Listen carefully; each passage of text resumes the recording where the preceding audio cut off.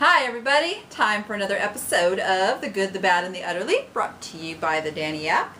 I'm Danni Ackerman and this is this week's happenings. Um, this is April, yes, April, and it is Autism Awareness Month. Uh, this is a subject near and dear to my heart as my little guy is autistic. So I've been dealing with this for about seven years now. And each April I run some higher priced items with uh, a percentage going to uh, Autism Speaks through Giving Works on eBay. eBay makes this really easy to do. It's as much as checking off a box that you wanted to uh, give to Giving Works and selecting your charity. For me, that's Autism Speaks. There are hundreds to choose from. So if you have a favorite charity or something that affects your life, this is a great opportunity to give back and I highly encourage it. So I had a fantastic sale uh, just uh, this past week. It was a large sculpture and uh, it was signed Denner. And I found it at the thrift shop and thought, you know, this is just the kind of thing that I can sell. Brought it home, paid five bucks for it, and it turned out to be a famous artist named Dorothy Denner and she was popular in the mid-century and it did have that mid-century look to me which was one of its appeals. And it was a reproduction, so I thought, eh, it's a reproduction, you know, whatever. And I did a little research on Google and found that a similar reproduction, actually the same uh, reproduction, had been estimated to sell between seven and eight hundred dollars at a, a, live auction house. So with that, I started it at auction at $9.95 and I set a reserve of $200 to kind of play with it and see what would happen. The bidding got up to about $114 and I was happy. I was going to lower the reserve thinking, okay, I'll let it sell for that. And I got an email from someone who was offering me $600 if I would add the buy it now to the auction. Now, I don't normally do this. My advice to you would be if somebody comes in and offers you a buy it now price on something, start counting your money because that means the item is worth a lot more than you thought it was. So I kind of checked this one out because $600 sure did sound nice on a $5 purchase. So I did my homework, I checked out the buyer, they were an art dealer. They bought a lot of expensive art. So I thought to myself, I'd have to have two of these guys bidding on this to really bump up that price to that. So I went ahead and I didn't end that auction. What I did is started a fixed price uh, listing, cost me five cents, and I let them know they bought it, they paid, then I went over and ended the auction.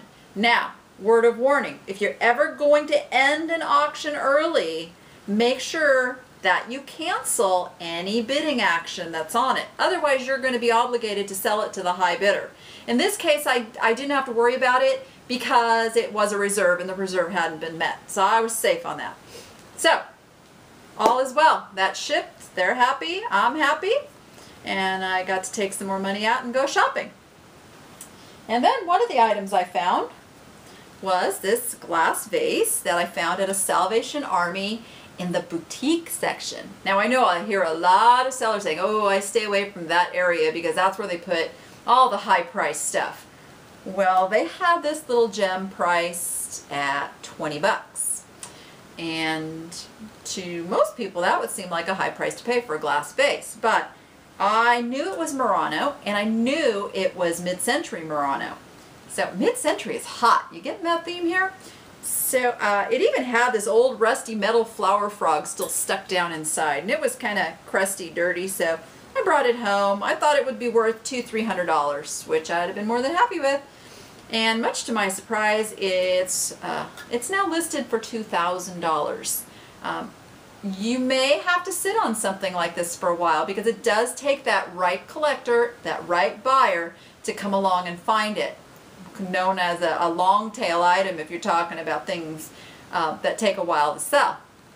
So I have no problem waiting. And the reason is that those buyers do come along. So I've got this at $2,000 with best offer. Uh, we'll see what happens. Now something that I bought back in uh, the fall of last year was this early American pressed glass pitcher. Um, now, I didn't know the exact pattern, but I knew it had a fox and a bird.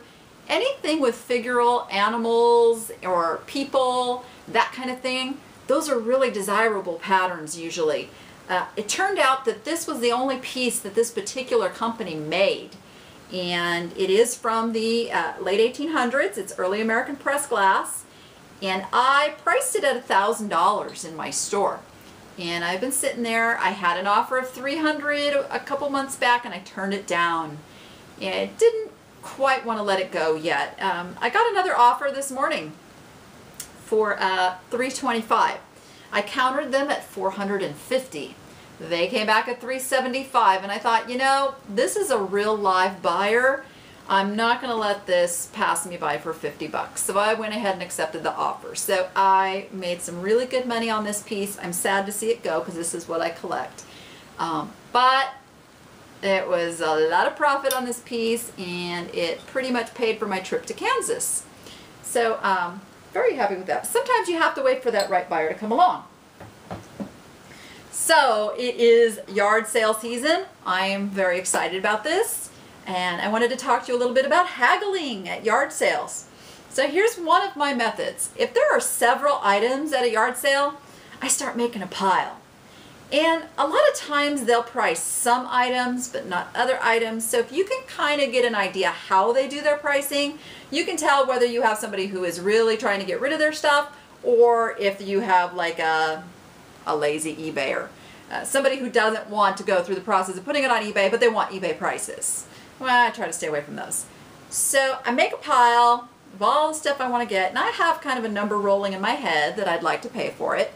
And when I come up to them to get the price, a lot of people just kind of look and will throw a number at you. They don't want to sit there and count each piece. Some people will count each piece they'll come up with a number and that'll either be acceptable to you or it won't. And if it's not, come back with a number that's acceptable to you. People will barter. I know this from actually holding yard sales as well as out there and purchasing out of. People will haggle with you. And uh, this is true for estate sales too. I went yard sailing this past weekend with my friend Lisa Metzler and we happened upon an estate sale.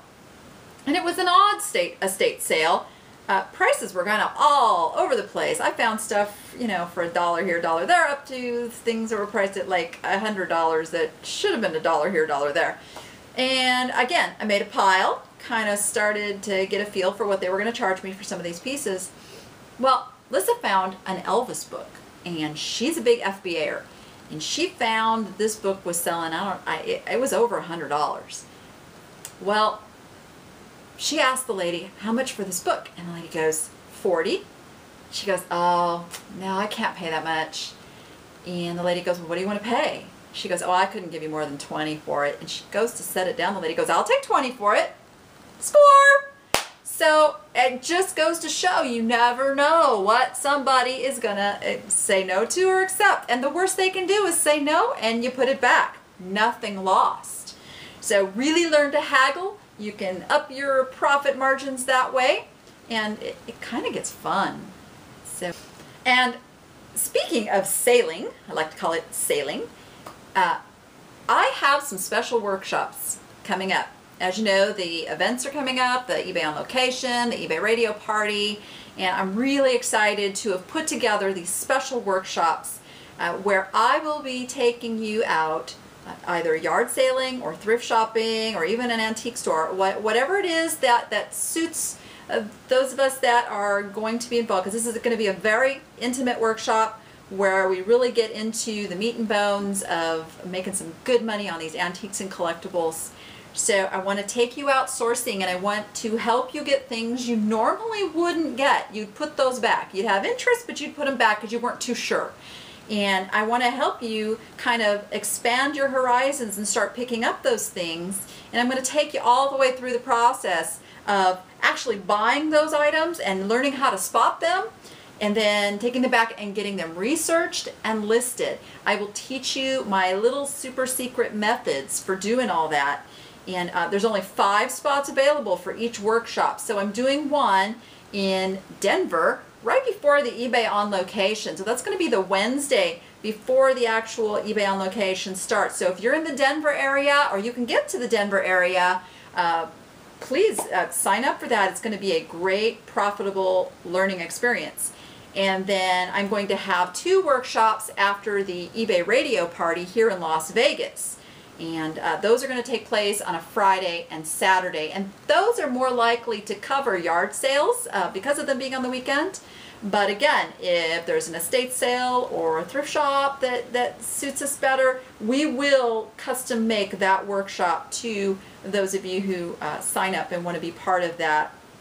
And again, we'll spend the morning sourcing and finding great stuff that you wouldn't normally buy and we'll go back to my office and I'm going to help you every step of the way get those items listed in the most profit filling way possible and we're going to watch those items sell for you. So these are workshops that are actually going to end up paying for themselves in the long run. And uh, join us again this week on the Ask the Danni App show. Be sure and submit your questions or if you want an utter review on an item, uh, you can go over to the danniapp.com and submit your questions or your items that way. And we would love to talk to you on Sunday evening, 5 p.m. Pacific Standard Time. And with that, I'm going to close and say see you till next week.